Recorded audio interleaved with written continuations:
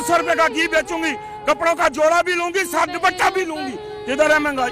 Drama कर रही है कौन? हम फटे कपड़े पहनते थे, हम ताकियाँ लगा के पहनते थे, हम जूते कपड़े पहन के।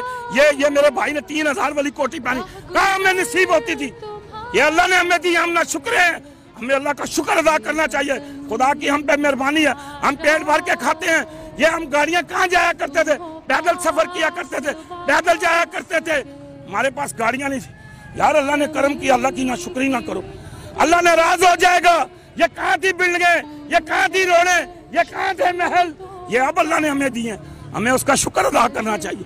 या अल्लाह तेरा शुक्र है, या अल्लाह तेरी बड़ी मेहरबानी है, या अल्लाह तेरी बड़ी करम नवाजी है कि हम कॉमन पिनों की जगह ये कांटे लगा के अपने पेपर लगाया करते थे जब चौदह अगस्त सन उन्नीस को पाकिस्तान बना।